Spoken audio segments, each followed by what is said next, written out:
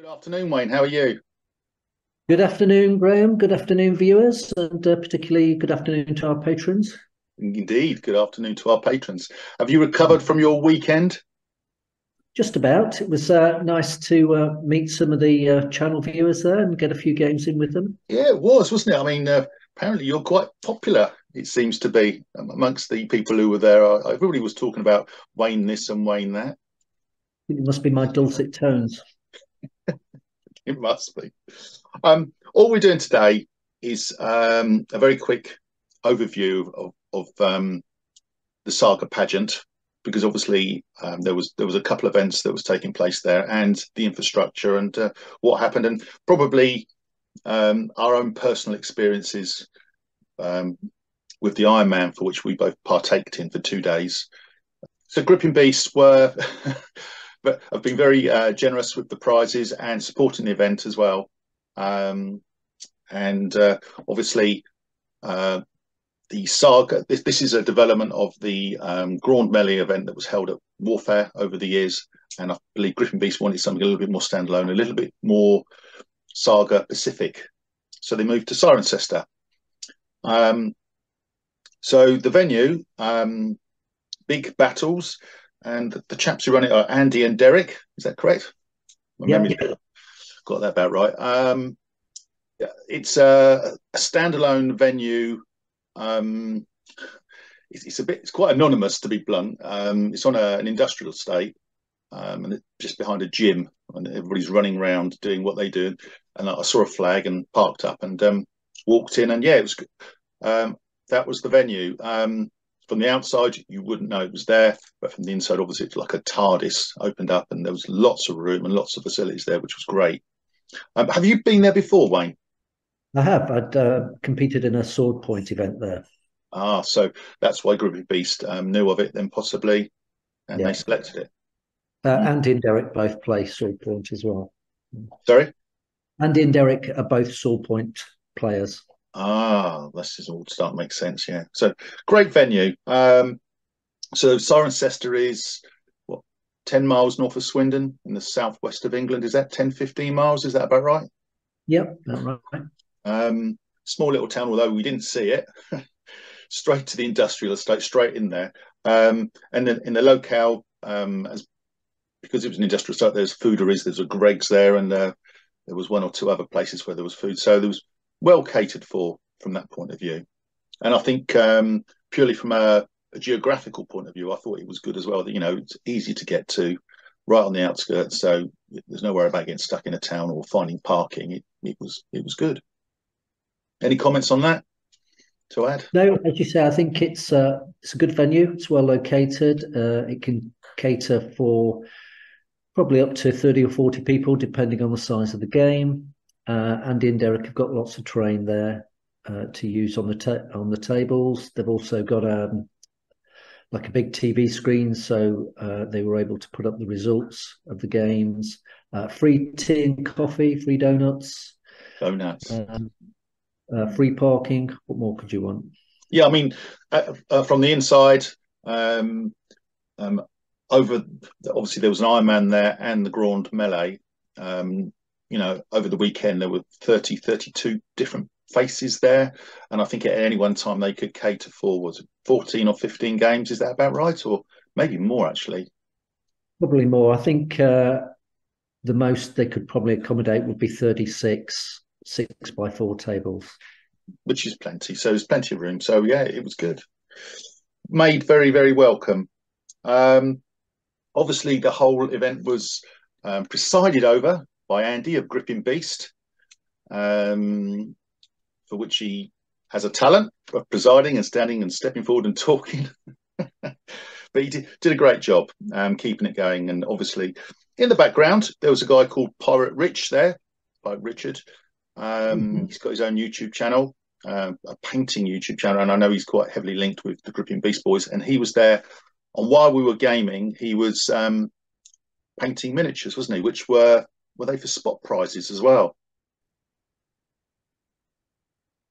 Mm. Yeah, so uh, Rich set himself the challenge of painting up a warlord uh, each round as a spot prize. So, um, so that was six. So this is for the Grand Melee boys. To be fair, is to be clear. Yeah. Yeah. So it was, it was excellent. Also, um, uh, there was free two free figures from Gripping Beast for the event. Yeah, two Vikings, very nice too. Incidentally, the uh, the one of the last spot prizes I think went to uh, Dom Saw, and he asked for a um, a special logo. He had he had one with the Gripping Beast logo on the shield, which was quite funny. Um, but yeah, I mean, fantastic job as well. Supported the event really, really well. Um, right. So we we can talk about obviously. Um, I've gone over all the six scenarios in pre, in pre on previous um, on my channel with previous games and how they were set out. So it's difficult to talk about those, but we can talk about our experience with the Iron Man. Um, so um, the Iron Man was um, two one day events, so you didn't need to come for Saturday and Sunday, albeit we did. Um, and of the each day, I think there was eleven or twelve on the Saturday, and I think there was ten on the ten or eleven on the Sunday, something like that.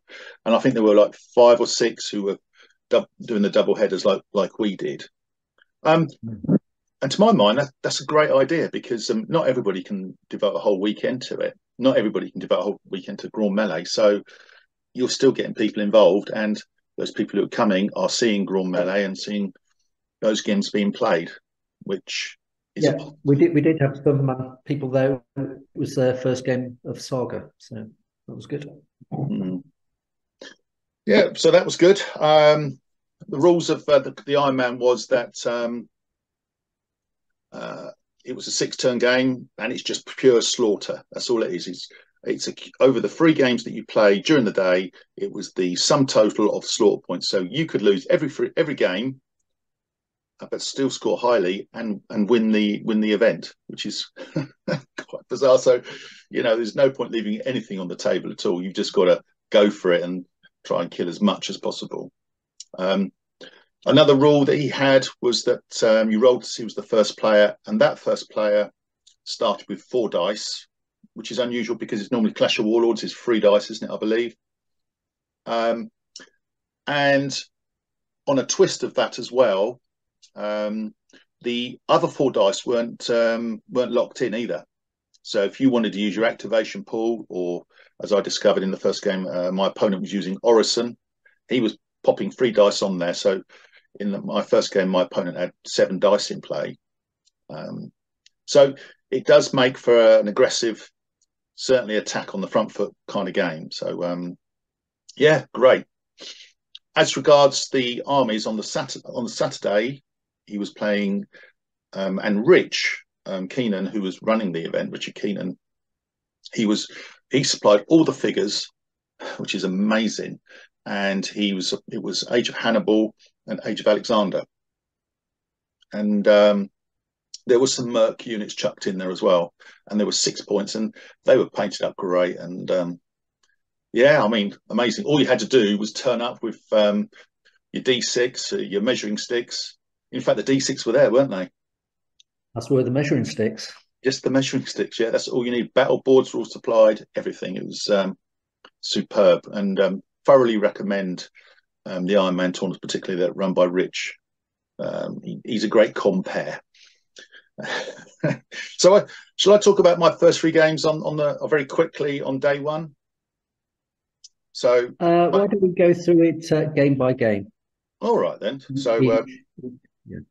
Okay, my first game I played. Um, I, I went and stood um, by the Indians. Nobody else seemed to be standing beside them, so um.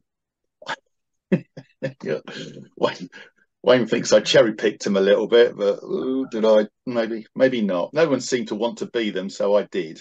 And no one else wanted to play them, so I ended up playing Demo Man Rich. Um, he was using successors. And um, I played the Indians a little bit, if anybody follows my channel knows. And um, yeah, I, I, did okay. I scored, it was 30 14. So I, I did all right in my first game. How about you?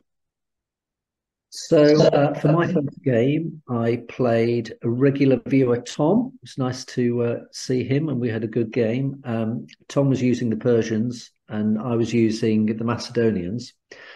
I should have paid more attention to your uh, Macedonian games, Graham. Uh, um, so I finished second in the, that first game. Uh, uh, Tom uh, used one volley after another to great effect to thin my ranks. Uh, it was quite a low scoring game, certainly for me, but uh, still enjoyable. Yeah. Wow. Okay. So I get the idea. So my second game is a, of a little more interesting. Let's call it um, in football we call it a local derby, and I oh. ended up playing a guy called Wayne. Who, oh, right. For the I ended up playing a guy called Graham. and um, yeah, so uh, I was using success. What was you using, Wayne? You you you were using Romans. Oh yeah, cool. The Republic. That's how much I remember. I was, I was using successors. But that's how much I choose to forget this game. Um, and uh, it was a you, you, did a number on me to be fair, Wayne, and you always raise your game. And I lost. I scored seventeen, and Wayne scored twenty-one, which in the scheme of things is good for Wayne, but in the reality of the, the event, yeah, twenty-one is is I would say below average um, for a score, and seventeen is even more below average. So I, I thank you very much, Wayne, for bringing your A game to it. Well, that was a bit of a tactical masterclass, I felt, but uh, it's my first time with the battle board. Um, so struggled a bit to get the get the most out of um, the successors.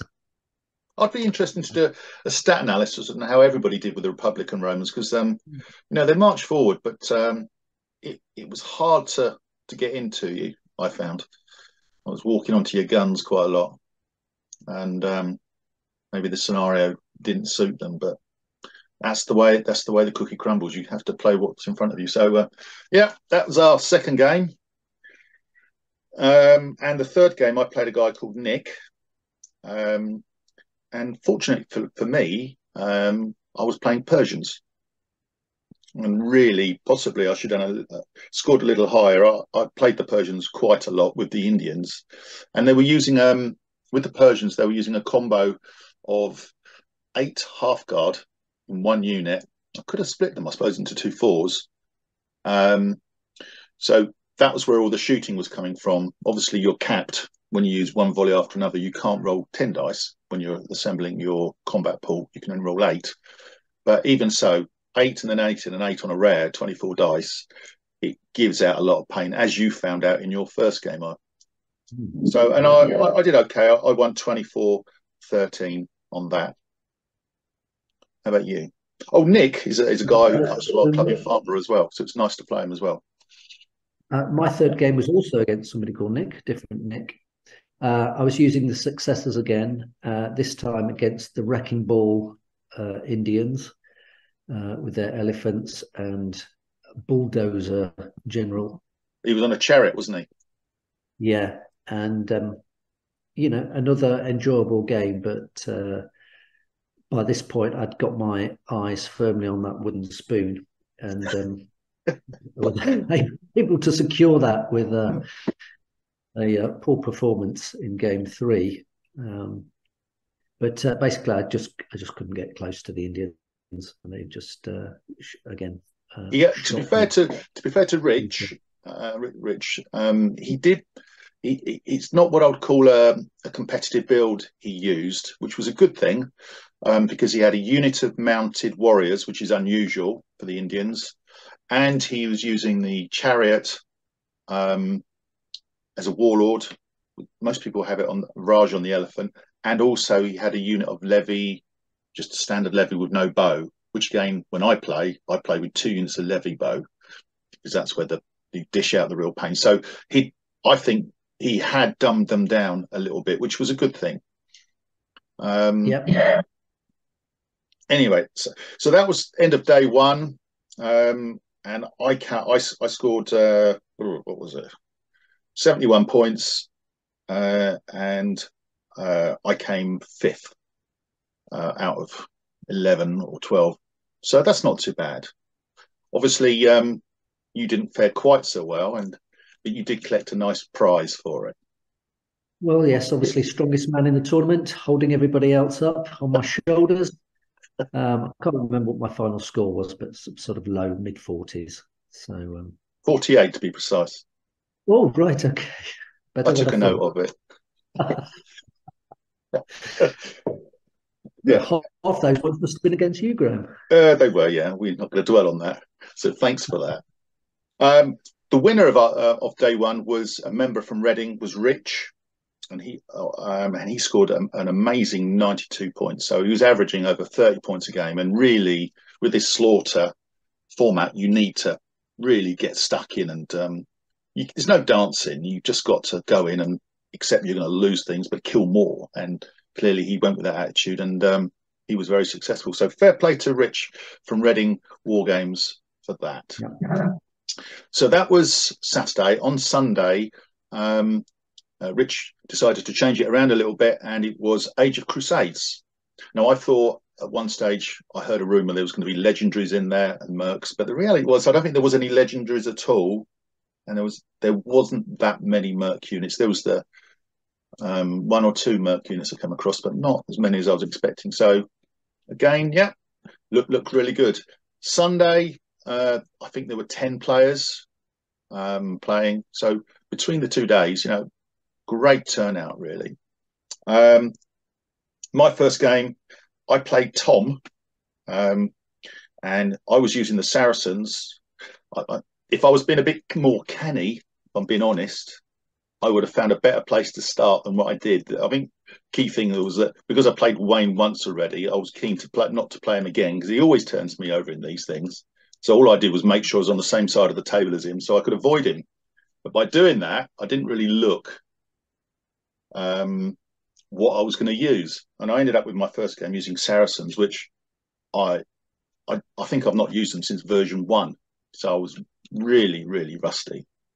Um, he was using Mil- Milites Christi, which I've used a lot and I know really, really well. So if I was clever, I would have gone over that side. But I think I was a bit half asleep from the beers from the night before. Anyway, I played him and he played really well. Again, he was the guy who capitalized on the. He was the first player. He rolled the four dice. Then he had three more dice in play, so he had seven in play. And I think on the first turn, uh, I had a unit of warriors in front of him, and he killed seven of them. So I was a dice down before I even rolled a dice. So it was tough. Also, um, I over the course of the game, I struggled. I didn't notice that my my Hearthguard, and I had two units of them, were mounted, had composite bow, and I didn't realise till turn five that I could have been shooting him. So didn't help himself too much. He was, to be fair to him, he played them well, and he was miles ahead of me. But then he was going for the gold, going for the blood. He was trying to get his points up. So he advanced his warlord, and I managed to nick that. And he advanced his Hearthguard, and I managed to nick them. And so in the end, the score was I lost 24 27. So I scraped eight points, nine points in turn five, turn six, which made my score half reasonable. But the reality was it was quite a one sided affair, mostly through my stupidity of not knowing the, the faction. But I suppose a lot of people were coming into this who've played only Age of Vikings, so there I was in the same boat as them. Really, I was I was learning about what was out there. So good game though. How about you? Uh, so I've not really played much from Age of Crusades. So uh, I realised that the Sunday was going to be a real learning curve for me. Uh, my first game was against Andrew, and I was using Eastern Princes. I've never used them before, and he was using the Polish board. Um, I think the Polish board is acknowledged to be quite a tricky board to play. A lot of their abilities are two dice abilities, but I thought Andrew played them really well, and uh, we had a, a, very close game. Um, just managed to squeak out uh, a win, uh, but only by uh, you know a handful of handful of points. Um, probably didn't get the best out of the Eastern Princes, but you know what it's like when you use a board for the first time. Always tricky to tell me about it. Play quickly and you know get the, get the most out of the board. Mm. Well, I was following you, so my game two was also with the Princes, Eastern Princes, and uh, the build didn't have the war wagon, um, and again, I think uh, it was more of a generic build rather than a competitive build, which which is a good thing for people who are using the factions for the first time. And I've never played Eastern Princes either. And I played uh, Nick again from Farnborough. He, he, appeared in front of me. Oh, played him twice over the weekend, and um, he was using the Polish, as you said, and um, yeah, they've got one ability on there which, um, if you put a rare on it, if he uses it um, in his turn, at the end of his turn, I can put two rare dice on any ability that I want, which is a an amazing ability, really. Um, and I used that three or four times. So that must have been I rolled three or four rares, which is quite good.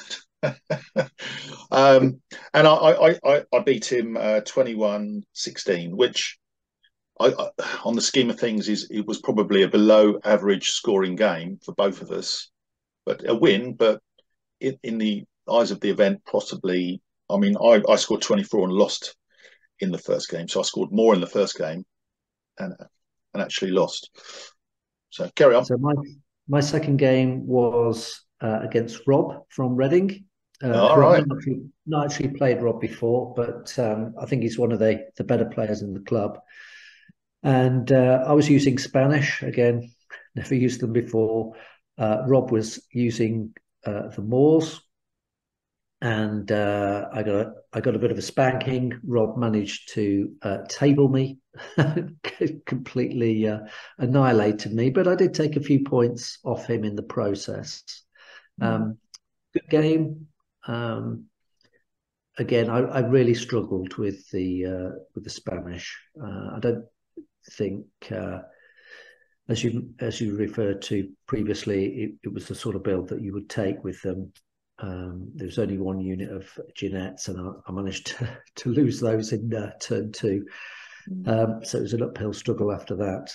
But still, you know, good and enjoyable game.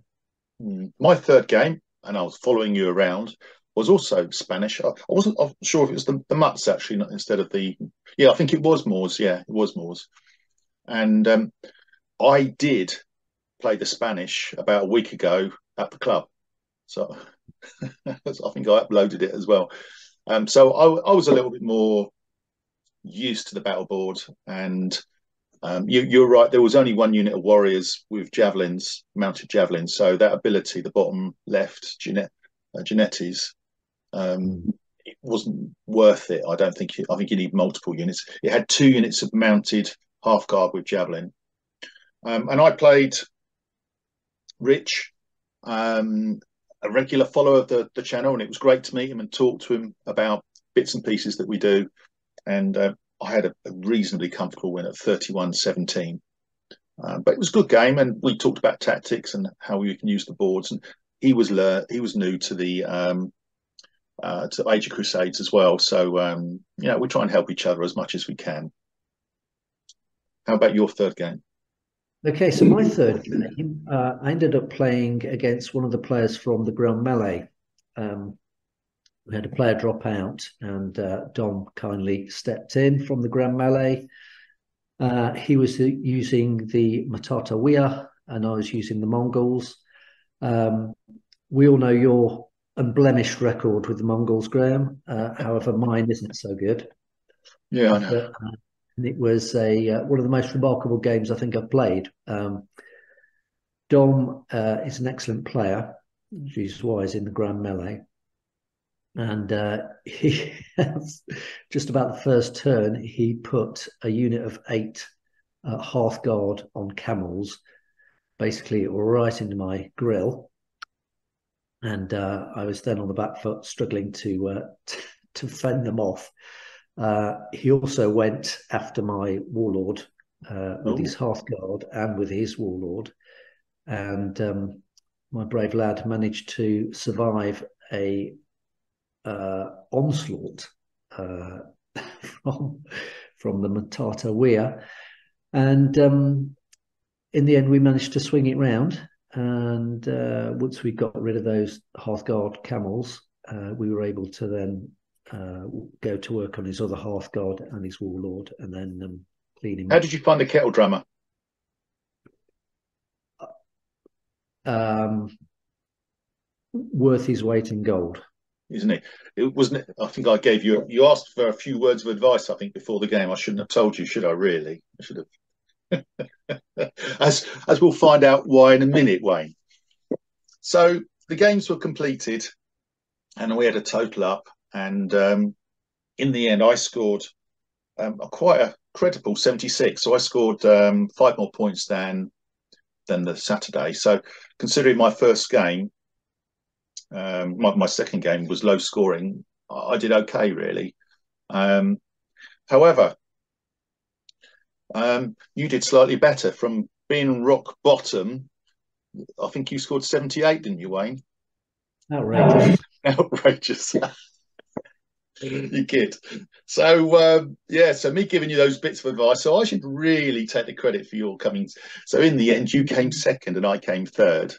Um, so well done to you. And and uh, another club member, Rob, who you played in your second game, he scored a massive 96 points um, mm. to win the whole thing. So, you know, when you think about it, you had 78, 96, he was 18 points ahead of the next player. So his scoring was amazing. So he was scoring on average 32 points a game.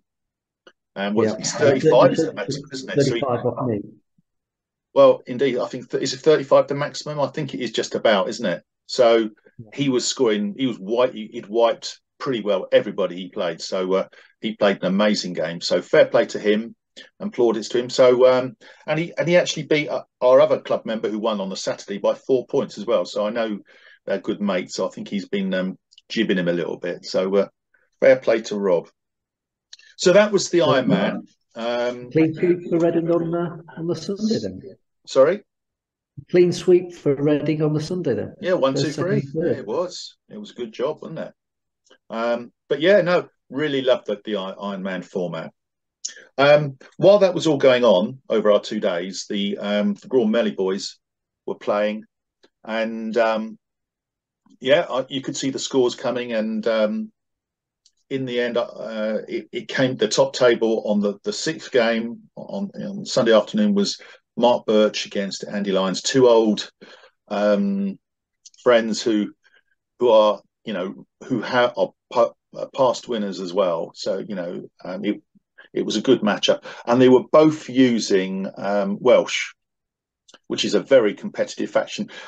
It was um, Age of Melee, um, so it was it was across all five books. So um, just goes to show how powerful the Welsh are. If they're both using them, they both got through to the final. Um, I assume they brought they must have both bought a foot warband and a mounted warband as well. I assume they did that. Um, and I know it was quite a tense affair. Everybody was watching it towards the end. Um, and Andy Lyons, I believe, just nicked it at the um, at the knockings at the very end, and he he became Grand Melee champion. So fair play to him, and um, yeah, he's a great champion and a good result. Um, I took a snapshot of of the leaderboard, and hopefully you can have a look. And interesting to see some of the other factions. There was a guy called Andros. He was using a, a Carolingian faction, Moro. How do you say it? Moro, Moro. Merovingian. Merovingian, which is a Carolingian uh, derivative, I believe. Um, and yeah, so they did well. See, it, the the Indians were there near the top as well, and there was a Macedonian faction as well, which is great to see. So across all the boards, really, the Age of Crusades wasn't in the top four. So yeah, that's interesting. But um, yeah, I mean, as I say, I've got some bits, and um, obviously that meant Andy got won the trophy, um, and well done to him. So um, yeah, it was um, a very positive weekend. Yeah, so um, yeah, Andy Lyons had a got another win, so uh, collected the big cup, which uh, congratulations to him, and um, unlucky Mark for running a, a, very close second. It was uh, literally down to individual point, 25 points, I think they got. So um, I took a, a, snap of the um, the leaderboard. I'm sure there'll be better quality ones out there, but I'll share that after this.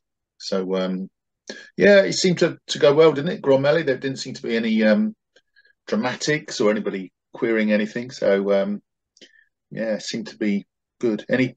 Did you see anything at all of it, or were you deeply ensconced in your Ironman? No, unfortunately, I didn't get to see any of the Grand Melee games. Uh, obviously, they were there going on in the background, but um, I was focused on that wooden spoon, Graham. well, you didn't get it second time, did you? you nicked it off me for second place. So anyway, yeah, all good. Uh, so obviously, just to wrap it up, then um, you got to say uh, a big thank you again to, to to Richard in particular for running the Ironman from a personal point of view, and obviously Mark and Andy. You know they they, they ran um, the um, the Grand Melee as well. So fair play to them, and they run it, and it seemed to be no problems at all. So that is good. Um, a big thank you must go out to um, Andy of Gripping Beast. I mean, they were giving out loads and loads of um, goodies, you know, spot prizes, as well as you know the you know uh, for people who won the tournament as well. So um, a great job of promoting Saga in the UK, and uh, I know they he he uh, he uh, helps other tournaments all over the world. So we're fair play to them, everybody at Gripping Beast for what they do for our, our hobby and our game. Mm, um, yeah. And obviously the venue, um, uh, Derek and Andy for uh, big battles. Uh, fair play to them, and also Rich, the painting man. So um, a, thank you to him as well. Um, have I missed anybody? Don't think so. No, thank you to everybody who played with such a great spirit over the weekend as well. So yeah, really, really good. Enjoyed it, and uh, I look forward to the next one immensely. Probably am going to keep to the Iron Man because it kind of um, yeah, well, well, I spoke to uh, Andy and Derek after the event, and they, um, I know they're both keen to run another Ironman event there uh, in the near future. Oh, talking of Ironman, um, our local club, obviously, uh, there was a, a, gap for Saga at um, at Warfare once Grand was moved, and I know that uh, Rich is, of uh, Demo Guy is, is, offered to run an Ironman um, event there. So if anybody's interested, have a look at the Reading War Games website and enroll on the Ironman. I know he, he just needs six, and, he, and he'll run an event. And by all accounts, the, there's loads and loads of goodies on on show. So um, and it's a one day event as well. I think it's Sunday, um, but check that and double check that. Anyway, that's about it. Um, thank you, Wayne, as always. Um, good job. Thank you, viewers. And um, thank you, viewers. And uh, we'll uh, we'll wrap it up there. Okay, here's the venue from the outside. It's quite deceptive, as I said before. And here is uh, my Romans against Wayne's warband. And here's Wayne plotting my demise, which he did so well. Next is my uh, Saracens against Tom's Militares Christi. Uh, tough old game that was and here's a picture of um, Persians I used against Nick for eight Hearthguard in one unit combined formation. And here's the Eastern Princes. I did struggle with these but again uh, the table's dressed up really nicely. Here's the Grand Melee trophy and Richard the painter doing some fantastic work. And uh, here's a close-up of what they're all battling for and here's a quick panoramic view of, of where we played. This is on the Saturday, I think. So was, you know, there was 30 people in there, so um, great venue. Thank you, Richard. Um, holding everybody up. Strongest player. Strongest player, Mr. Wayne Richards. No. 40 points. Wayne, though, is holding Spoon Prize, the Republican Tribune, the politician doesn't fight very well, but can That's order me. everybody about. Thank you, Rich. Well done, after that. Moving up swiftly with 45 points, 11th place, Colin. Excellent. Not far further up, Nick with 47 points. is in at number 10. I think we should do this in a Paul Gambaccini sort of way. So coming in, or sure. definitely not a Jimmy Savile. No, no, no. And Mr. Davies, oh yes, the third spot prize. That was Mr. Barter. Now, coming where we uh, coming up to number nine, mate. Yes. He's uh, with 48, Mr. Davies, Nick Davies, 48. Yes. Coming in with 50 points, Dad, Neil, Thank you. in at eighth place. Some demo bloke managed to get 60 points. Yeah, then, Mr. Cattrall, yeah, 64 points, sixth place. Played me to give a boost. Fifth point, Mr. Coates, 71, a very creditable 71. Coming in where we were up to four, Mr. Brinkman, 76. 76. Now, now we're coming into the uh, the prizes, mate. So, in third place, with a very credible 79, Graham Woodhouse. Well done, young man. Asian half Well, well done. Beautiful.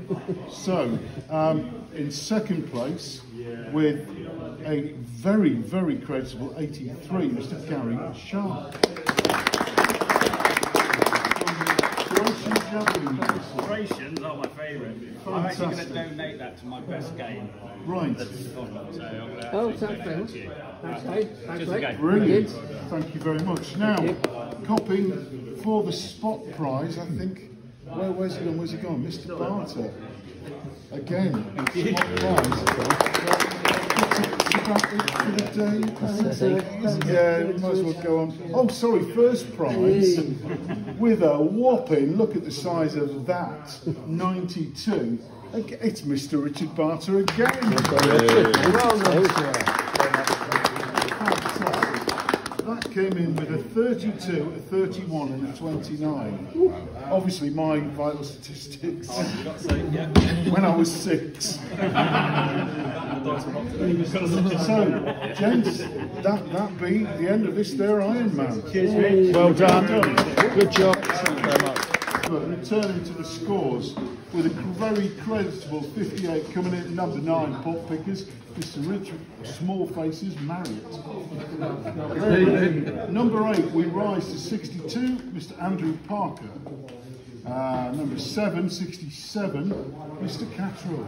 Yeah, rank Surveillance, you said. Uh, where was I up to? We've done, done the cripple. So coming up from the cripple, we've got uh, Henry. First ever game, never played before. on the table with a creditable 68.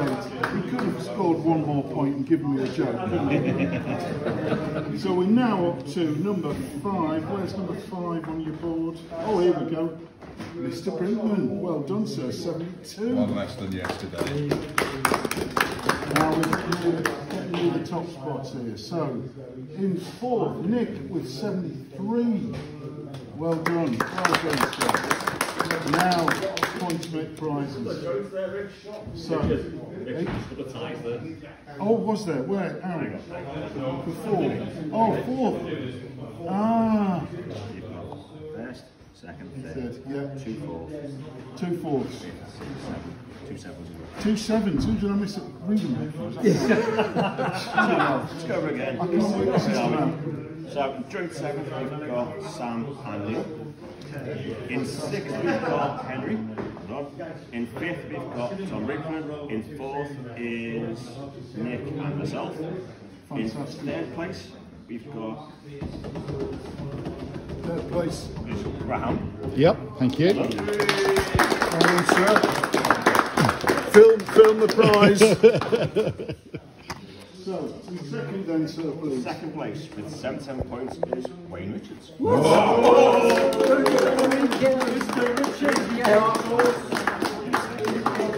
Is this is this a bit of a ready? Yes- Yesterday was just a, Then- just a trial. Isn't it? Number one.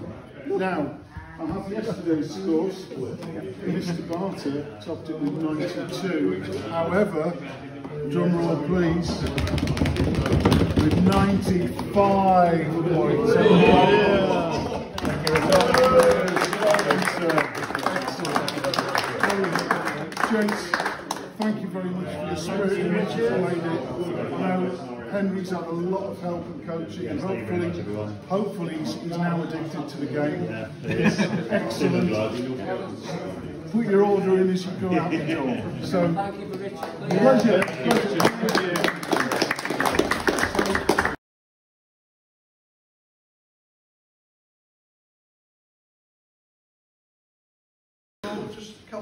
Thank you ever so much for coming. Um, I think it's gone really well. There were no fisticuffs, no arguments, no tantrums, no nothing. No blood. No blood, so that's a big disappointment. So next year, right? Just, uh, uh, thank you ever so much to everybody that bought mats and stuff and helped out. That was really, really useful. I think that's an excellent idea, so thank you for that.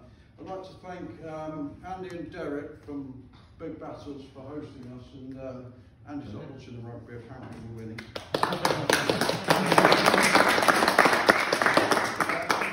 you know, all those donuts. Yeah. Uh, also, Pirate Rich for um, painting all the spot prizes. So each one of those figures that was given as a spot prize was painted during the round that it was awarded. So I think that's pretty impressive. And uh, I'd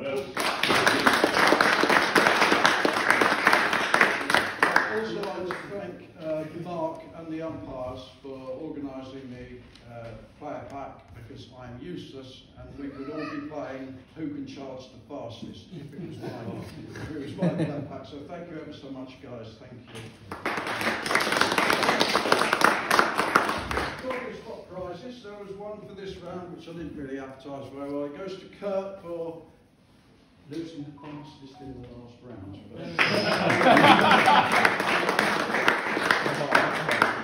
right, okay, we have here a slightly boosted than normal Not prize. Normally at these events, if you've been to ones before, which most of you have, you'll know it's casualties for loss and player. This year we've got, because we're ahead of the game, casualties suitable for the next saga book, which is Age of Chivalry, which in case you didn't know, is probably out late late next year now. So uh, don't quote me. Don't quote me, but, but and we've also got Rich has painted up the the Grand Melee um, figures. So Thor and his mate here. Uh, and he's put the Gripping Beast logo on Thor's shield. So, uh, well, it's fantastic. And this one goes to the strongest man in the room who not only supported the whole of the rest of the GM players, but also the Iron Man on the same day. The only person I know who's lost two tournaments and that is an achievement that not even I have done. So, congratulations.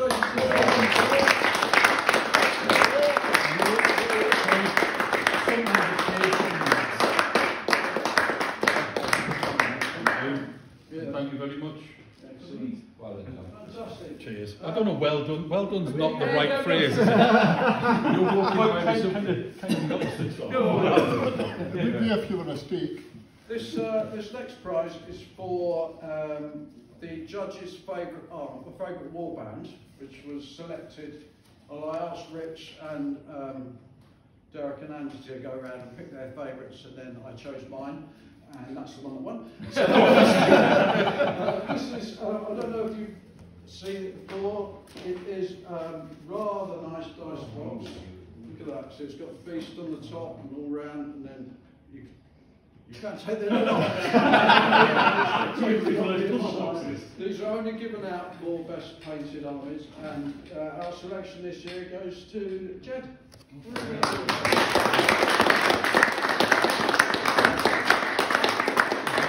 Even though the category is on the basis. It's not a pity prize. Mine's a petty prize. I don't care. Uh, As you can see from Cricket with both the hands. scores, no surprise, Andrews came third. Just quickly, I had to get Mark up to work out, and then we went to the who played who and all the rest of all the stuff that I thought we'd never get into and didn't understand. So Mark's uh, Andrews comes third. Well done, mate. He's got- He's got some uh, a little unit of Hearthguards for Age Chivalry and uh, Fox Irish, and then second. Let me just check my list. I just want to make sure. uh, it's Mark. Excellent.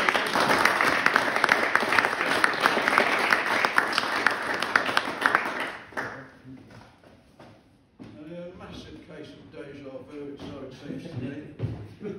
Yet again, Andy, well done.